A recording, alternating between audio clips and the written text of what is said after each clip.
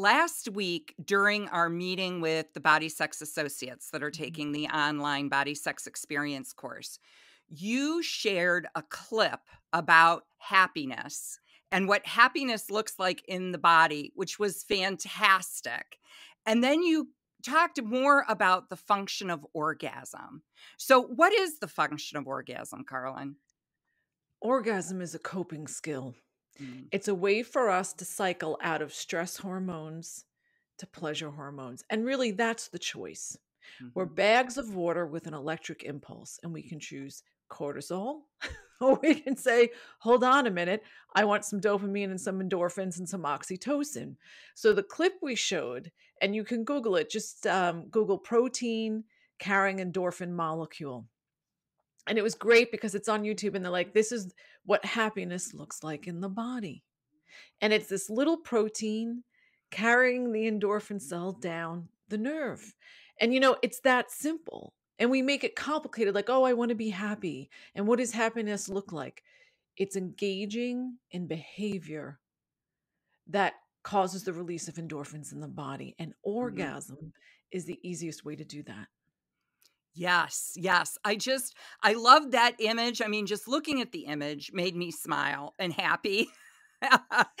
and um adding to it the function of orgasm. So when we orgasm, we're cycling those positive pleasure hormones in our body. So, you know, that that image of happiness is happening actually in our body and it's so good to have that visualization. So, Carlin, how how can we cycle that positive? How do we cycle orgasms and energy and make that choice? Touch, Mhm. making time for touch. You know, we have this idea that we only touch our bodies or our sex organ when we feel desire. Mhm. Right. And we don't do this in any other aspect of our lives, right? We have three meals a day. Mhm. We don't wait till we're hungry and go, oh, what should we do? What should we eat? We schedule, right? Mhm. We schedule daily bathing, right? We schedule seasonal things. It's coming at pleasure and orgasm with that same kind of entitlement and making Mhm. time and touching. The more we touch, the more we feel. So if you get some oil and you start touching yourself, then you're going to be aroused. Then you're going to get some of those endorphins. Then you're going to feel relaxed. Then you're going to feel like, oh, I'd like to have an orgasm. When you're Mhm. living in a stressful environment like we all are, you're not going to feel that way because what is orgasm like? Mhm. Orgasm like safety, lightness, Yeah. joy, Mhm. easiness, playfulness. And so when we're stressed out, right, we don't feel that way. We don't touch ourselves. And all of a sudden, it's a stress cycle. So we break that cycle by Mhm. touching. Yes. And you don't have to wait for a partner.